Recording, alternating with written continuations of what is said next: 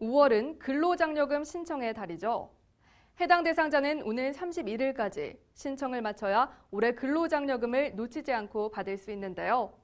특히 올해부터는 세무서 방문 없이 휴대전화로도 근로장려금을 손쉽게 신청할 수 있습니다.